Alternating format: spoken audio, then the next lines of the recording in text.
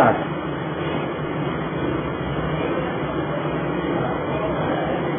First connect the inlet pipe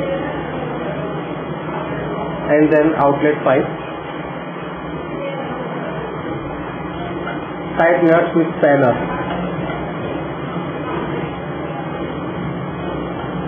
Please ensure zero leakage on both sides. Then collect, then connect car or another inlet cylinder pipe as shown in the video.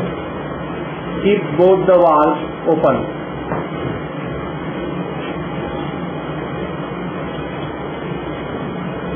Connect the inlet cylinder.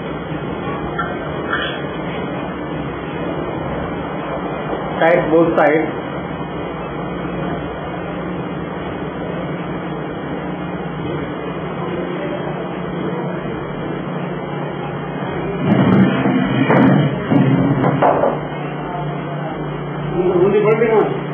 Now open the valve.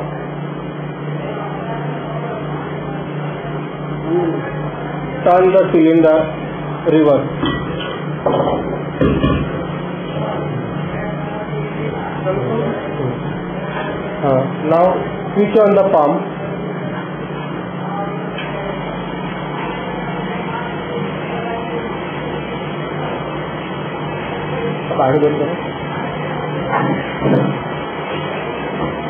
you can see the LPG on the window. LPG now moving from one cylinder to another cylinder.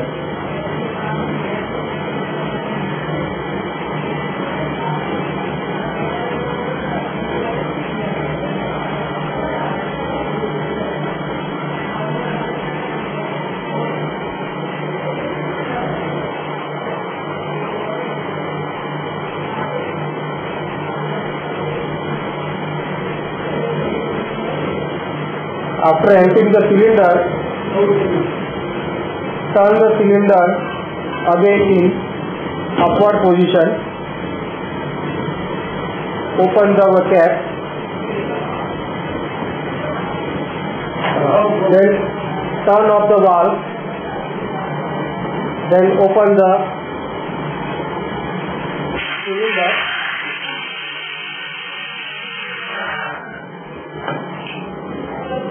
and switch off the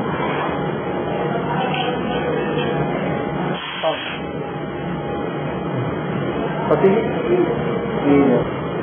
Then open the inlet cylinder valve.